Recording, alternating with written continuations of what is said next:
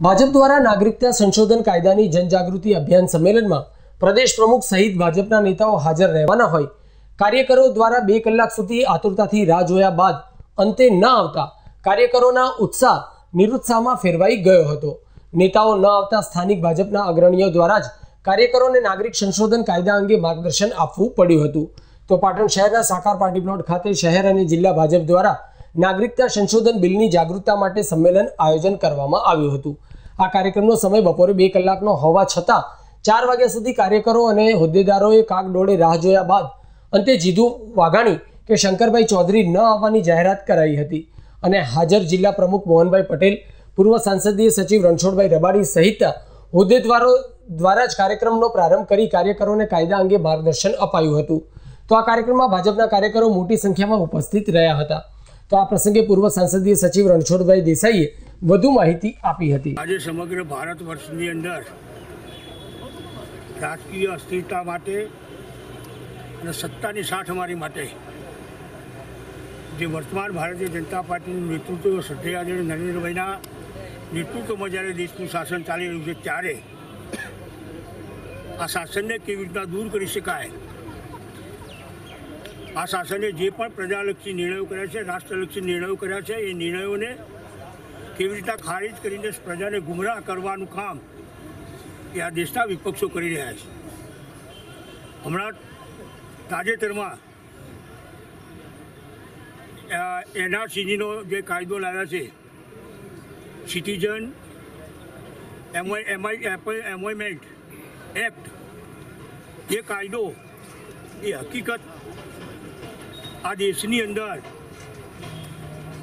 જે વર્ષોથી આ દેશના હિન્દુ લોકો હતા, એ અફઘાનિસ્તાન હોય, પાકિસ્તાન હોય, બાંગ્લાદેશમાં હોય, એ બધા જ લોકોને આ દેશનું નાગરિકત્વ મળે. ત્યાં લઘુમતી તરીકે લોકો જીવન જીવતા હતા, અનેક યાત્રાઓ ભોગવતા હતા. શારીરિક, માનસિક અને સામાજિક યાત્રાઓથી ત્રસ્ત થયેલા આવા લોકો જ્યારે દેશ છોડીને ભારતની અંદર જ્યારે આશરો લેતા હોય એવા લોકોને આશ્રય આપવાનું કામ, નાગરિકત્વ આપવાનું કામ.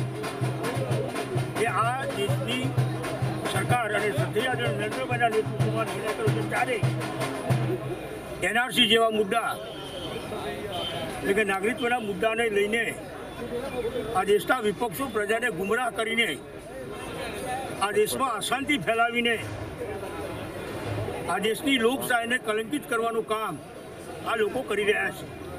અને એના જ કારણે આજે સમગ્ર દેશની અંદર જ્યારે વિપક્ષોની અફવાઓના કારણે જે આંદોલનો થયા અને કોમને ટાર્ગેટ બનાવીને આંદોલનો કર્યા, એની સામે આ દેશના હિન્દુઓ અને આ રાષ્ટ્રપ્રેમીઓએ સમગ્ર દેશની અંદર રેલીઓ કરીને અને આજે પણ જનજાગરણ જેવા કાર્યક્રમ દ્વારા સમાજ જીવનમાં સાચી વાત પહોંચે એ માટેના પ્રયત્નો કરવાનો આ કાર્યક્રમ ભારતીય જનતા પાર્ટીના નેતૃત્વ નીચે કરવામાં આવ્યો છે.